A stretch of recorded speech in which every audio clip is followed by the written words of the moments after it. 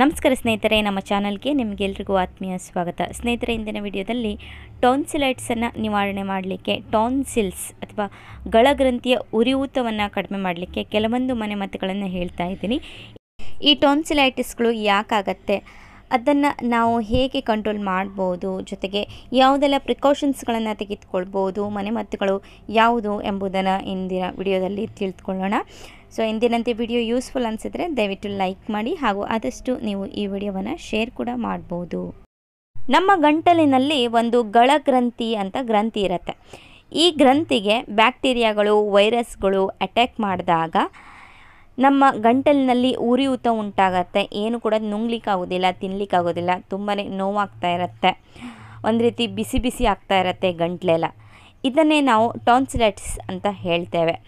So ಗಂಟ್ಲಿನ ಒಳಗಡೆ ಸ್ವಲ್ಪ ಉಪ್ಕೊಳ್ಳುತ್ತೆ ಹಾಗೂ ಅದರ ಮೇಲ್ಗಡೆ ಸೊ, ಸ್ವಲ್ಪ ಇನ್ಫೆಕ್ಷನ್ ಆಗಲಿಕ್ಕೆ ಸ್ಟಾರ್ಟ್ ಆಗುತ್ತೆ.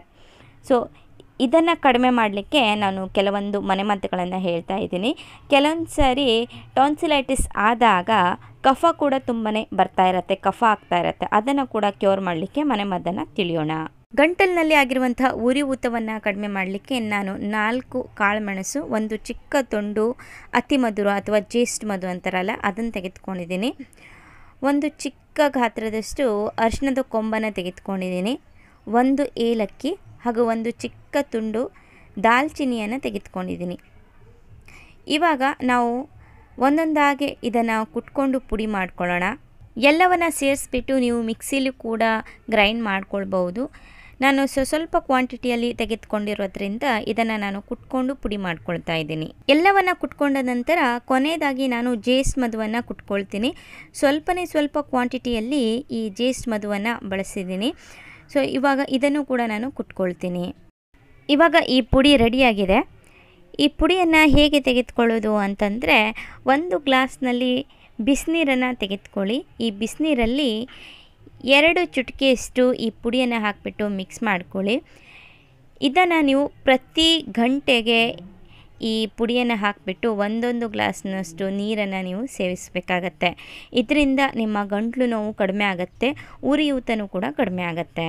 ಇನ್ನು ನೆಕ್ಸ್ಟ್ ಬಂದುಬಿಟ್ಟು ಒಂದು ಟೇಬಲ್ ಸ್ಪೂನಷ್ಟು ಜೇನುತುಪ್ಪಕ್ಕೆ ಒಂದು ಚಿಟಿಕೆಯಷ್ಟು ದಾಲ್ಚಿನಿಯ ಪುಡಿಯನ್ನು ಹಾಕಿಬಿಟ್ಟು ಮಿಕ್ಸ್ ಮಾಡಿಬಿಟ್ಟು ಇದನ್ನು ನೀವು ಸೇವಿಸೋದ್ರಿಂದ ಗಂಟ್ಲು ನೋವು ಕಡಿಮೆ ಆಗುತ್ತೆ. ದಾಲ್ಚಿನಿಯ ಪುಡಿಯನ್ನು ನೀವು ಹೇಗೆ ಮಾಡೋದು ಅಂತಂದರೆ ದಾಲ್ಚಿನಿಯನ್ನು ಕುಟ್ಕೊಂಡು ಪುಡಿ ಮಾಡ್ಕೊಳ್ಬೋದು ನೆಕ್ಸ್ಟ್ ಬಂದುಬಿಟ್ಟು ಅರ್ಧ ಲೀಟರ್ ನೀರಿಗೆ ನಾಲ್ಕು ಚಮಚದಷ್ಟು ಮೆಂತ್ಯ ಕಾಳನ್ನು ಹಾಕಿಬಿಟ್ಟು ಚೆನ್ನಾಗಿ ನೀರನ್ನು ಕಾಯಿಸ್ಕೊಳ್ಳಿ. ಒಂದು ರೀತಿ ಕಷಾಯ ರೀತಿಯಲ್ಲಿ ಮಾಡ್ಕೊಳ್ಳಿ. ಇದು ಸ್ವಲ್ಪ ಬಿಸಿ ಇರುವಾಗ ಇದರಿಂದ ನಿಮ್ಮ ಗಂಟ್ಲನ್ನು ಮುಕ್ಕಳಿಸೋದ್ರಿಂದ, ಬಾಯಿಯನ್ನು ಮುಕ್ಕಳಿಸೋದ್ರಿಂದ ಉರಿಯೂತ ಕಡಿಮೆ ಆಗುತ್ತೆ. ನಿಮಗೆ ಈ ನೀರು ಎಷ್ಟು ಬಿಸಿ ತೆಗೆದುಕೊಳ್ಳಿಕ್ಕೆ ಸಾಧ್ಯನೋ ಅಷ್ಟೇ ನೀವು ಬಿಸಿಯನ್ನು ತೆಗೆದುಕೊಳ್ಬೋದು. ಇನ್ನು ಹಸಿ ಶುಂಠಿಯಲ್ಲಿ ನೋವು ನಿವಾರಕ ಗುಣ ಇದೆ. ಈ ಹಸಿ ಶುಂಠಿಯನ್ನು ಕಷಾಯ ರೀತಿಯಲ್ಲಿ ಮಾಡಿಕೊಂಡು ನೀವು ಕುಡಿಬಹುದು. ಅಥವಾ ಹಸಿ ಶುಂಠಿಯನ್ನು ಹಾಗೇನೂ ಕೂಡ ಸೇವಿಸಿದ್ರು ತುಂಬಾ ಉಪಯೋಗಕಾರಿಯಾಗಿರುತ್ತೆ. ಇನ್ನು ಸ್ವಲ್ಪ ಕಾಳು ಮೆಣಸಿನ ಪುಡಿ, ಸ್ವಲ್ಪ ಅರಿಶಿನದ ಪುಡಿ ಹಾಗೂ ಜೇನುತುಪ್ಪವನ್ನು ಹಾಲಿಗೆ ಹಾಕಿಬಿಟ್ಟು ನೀವು ಸೇವಿಸ್ಬೋದು. ಒಂದು ವೇಳೆ ನಿಮಗೆ ತುಂಬಾ ಜಾಸ್ತಿ ಕಫ ಬರ್ತಾ ಇದ್ದರೆ ನೀವು ಹಾಲನ್ನು ಸ್ಕಿಪ್ ಮಾಡಿಬಿಟ್ಟು ನೀರಿಗೆ ಹಾಕಿಬಿಟ್ಟು ಕುಡಿಯಬಹುದು. ಉಪ್ಪಿನಲ್ಲಿ ಆ್ಯಂಟಿವೈರಲ್ ಆ್ಯಂಟಿಬ್ಯಾಕ್ಟೀರಿಯಲ್ ಗುಣ ಇದೆ. ಆದ್ದರಿಂದ ಸ್ವಲ್ಪ ಬೆಚ್ಚಗಿನ ನೀರಿನಲ್ಲಿ ಉಪ್ಪನ್ನು ಹಾಕಿಬಿಟ್ಟು ಬಾಯನ್ನು ಗಂಟ್ಲನ್ನು ಮುಕ್ಕೊಳಿಸೋದ್ರಿಂದ, ಗಾರ್ಗಲ್ ಮಾಡೋದ್ರಿಂದ ಗಂಟ್ಲು ನೋವು ಕಡಿಮೆ ಆಗುತ್ತೆ. ಇದನ್ನು ನೀವು ದಿನಕ್ಕೆ ಮೂರ್ನಾಲ್ಕು ಸಾರಿನಾದರೂ ಮಾಡಬೇಕಾಗತ್ತೆ. ಹಸಿ ಹಣ್ಣು ತರಕಾರಿಗಳನ್ನು ಸೇವಿಸುವ ಮುಂಚೆ ಬೆಚ್ಚಗಿನ ನೀರಿನಲ್ಲಿ ಉಪ್ಪನ್ನು ಹಾಕಿಬಿಟ್ಟು ಅರ್ಧ ಗಂಟೆಯವರೆಗೆ ಅದನ್ನು ಹಾಗೆಯೇ ಇಡಿ, ನಂತರ ಚೆನ್ನಾಗಿ ತೊಳೆದ್ಬಿಟ್ಟು ಯೂಸ್ ಮಾಡ್ಬೋದು. ಪ್ರತಿ ಸಾರಿನೂ ವಾಶ್ರೂಮ್ಸ್ಗಳನ್ನು ಯೂಸ್ ಮಾಡಿದ ನಂತರ ಕೈಗಳನ್ನು ಚೆನ್ನಾಗಿ ಸೋಪ್ ಹಚ್ಚಿ ವಾಶ್ ಮಾಡಿಕೊಳ್ಳಿ. ಸ್ನೇಹಿತರೆ, ಇಂದಿನ ಈ ವಿಡಿಯೋ ಟಾನ್ಸಿಲೈಟಿಸ್ ಅಥವಾ ಗಳಗ್ರಂಥಿಯ ಉಳಿಯೂತವನ್ನು ಕಡಿಮೆ ಮಾಡುವಲ್ಲಿ ನಿಮಗೆ ಹೆಲ್ಪ್ಫುಲ್ ಆಗುತ್ತೆ ಅಂತ ಅಂದ್ಕೊಳ್ತೀನಿ ನಿಮಗೆ ಯಾವ ಮನೆಮದ್ದು ಕನ್ವಿನಿಯೆಂಟ್ ಅನಿಸುತ್ತೋ ಅದನ್ನು ನೀವು ಯೂಸ್ ಮಾಡ್ಕೊಳ್ಬೋದು. ಸೊ, ಸ್ನೇಹಿತರೆ, ಇಂದಿನ ವಿಡಿಯೋ ನಿಮಗೆ ಇಷ್ಟ ಆದಲ್ಲಿ ಯೂಸ್ಫುಲ್ ಅನಿಸಿದರೆ ದಯವಿಟ್ಟು ಲೈಕ್ ಮಾಡಿ, ಆದಷ್ಟು ಈ ವಿಡಿಯೋವನ್ನು ನೀವು ಶೇರ್ ಮಾಡ್ಬೋದು.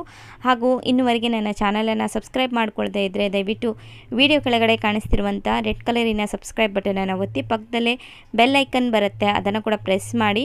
ಆಲ್ ಅಂತ ಫಸ್ಟ್ ಆಪ್ಷನನ್ನು ಕೂಡ ಪ್ರೆಸ್ ಮಾಡಿ. ಸೊ ಸ್ನೇಹಿತರೆ, ಸಿಗೋಣ ಮುಂದಿನ ವಿಡಿಯೋದಲ್ಲಿ. ಅಲ್ಲಿವರೆಗೂ ಖುಷಿಯಾಗಿರಿ, ಹೆಲ್ದಿಯಾಗಿರಿ. Thank you.